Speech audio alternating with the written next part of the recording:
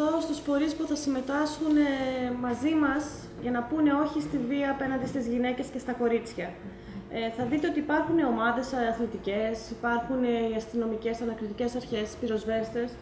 Ο λόγος για τον οποίο απευθύναμε το κάλεσμα σε όλη την, την κοινωνία της Καβάλας είναι γιατί το έγκλημα αυτό, το έγκλημα της βίας απέναντι στα, στις γυναίκες και στα κορίτσια αφορά όλη την κοινωνία. Δεν είναι κάτι που είναι μόνο για τις γυναίκες. Είναι, αφορά και τους άντρες.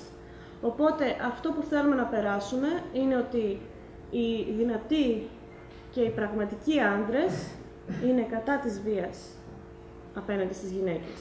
Και για αυτόν τον λόγο αυτό βλέπετε ότι ανταποκρίθηκαν στο κάλεσμά μας και οι αθλητικές ομάδες και οι ανακριτικές αρχές και οι πυροσβέστες και όλοι, όλοι, όλοι. Ε, και θέλουμε τη Δετάρτη να δημιουργηθεί ένα, μια εκδήλωση γεμάτη χαρά. Θα έχουμε πολλές δράσεις, ε, θα έχουμε ε, ε, αποτύπωση των εντυπώσεων των, των περαστικών για, τη, για τις σκέψεις τους απέναντι στη βία κατά των γυναικών. Ε, να πω ότι θα, θα δείξουμε τι τεχνικές αυτοπροστασίας για, για τα, θύματα, τα πιθανά θύματα βίας, πρόληψης θυματοποίησης, έτσι το ονομάζουμε εμείς.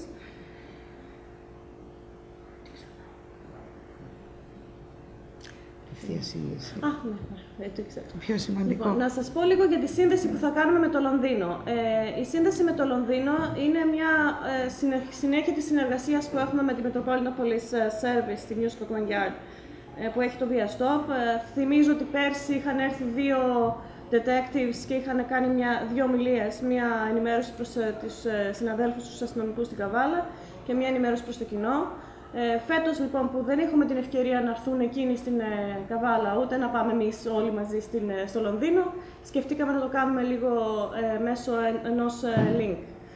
αυτό που θα γίνει είναι ότι στις 11 θα κάνουμε ένα χαιρετισμό ε, της ε, δικής μας εκδήλωσης με την εκδήλωση που θα κάνουμε στο Λονδίνο.